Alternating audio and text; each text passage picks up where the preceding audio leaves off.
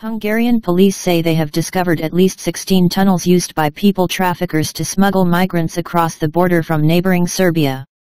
The small tunnels, which are around 100 feet long, are located near the village of Csikeria and the town of Morahalom. The discovery of the tunnels is said to have occurred after police managed to capture 26 illegal migrants from Afghanistan and Syria near the border. According to a report from Italian newspaper Il Giornale, the people traffickers charge migrants as much as 3,500 euros to get into Hungary, and therefore into the European Union.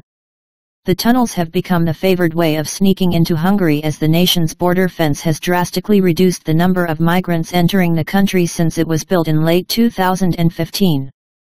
Csongrád County Police spokeswoman Szilvia Szab told local media that the tunnels were hidden under brush and that new activity showed that smugglers were ramping up their business after the Wuhan coronavirus lockdowns. In August, Hungarian authorities first alerted the public over the development of tunnels along the border. They said that 2020 has seen at least 18,000 migrants attempt to cross into the country, the highest number since the height of the migrant crisis in 2015. Hungary saw large numbers of migrants in January gather at the border at Röszke and demand to be let in.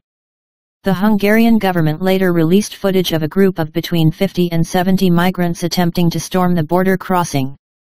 While Hungary has managed to reduce significantly illegal immigration over the past several years, it was dealt a blow in July when the European Court of Justice ruled that Hungary could not keep migrants in so-called transit zones on the border.